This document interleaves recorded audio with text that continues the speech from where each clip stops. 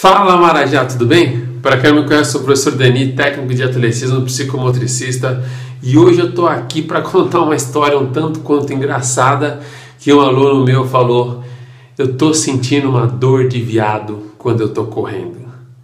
Vamos saber então? Vamos lá.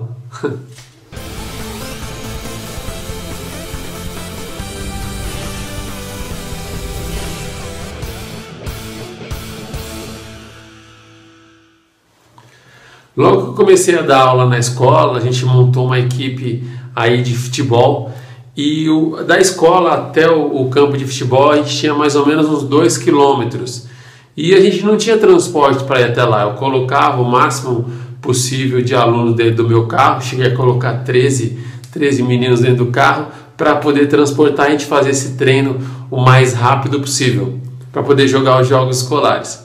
E aí os que iam a pé, correndo, uma vez um deles relatou, pô professor, tô com o que os moleques falam que é a dor de viado, é a dor de viado.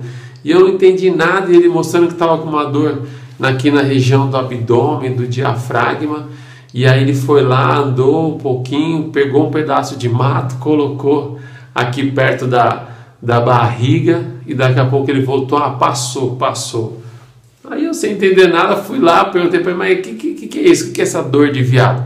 Ah, professor, todo mundo fala. Quando você está correndo, quando você está jogando bola e começa a doer aqui, você é muito fraco, você é viado, é dor de viado. Aí eu falei assim, caramba, essa molecada não sabe de nada mesmo, né?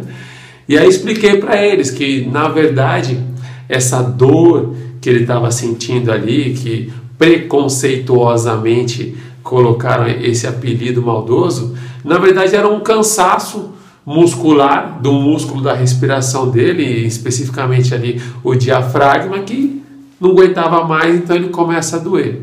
Já dizia meu professor Tom, lá de atletismo, nas minhas aulas da faculdade, a dor é a voz do corpo.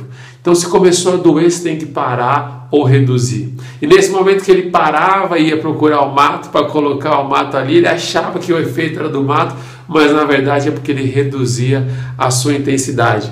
É a mesma coisa que você pegar um peso, começar a fazer exercício simultaneamente, vai chegar uma hora que vai doer o seu braço, o seu bíceps. Então fadigou a musculatura e a dor é a voz do corpo que está te avisando que está na hora de reduzir ou parar, tá bom? Então essa dor abdominal que você sente eventualmente aqui perto da região do diafragma, nada mais é que uma fadiga que seu organismo está demonstrando, tá bom? Se você gostou, curte aí, se inscreve no canal, dá aquele like, grande abraço, fica com Deus.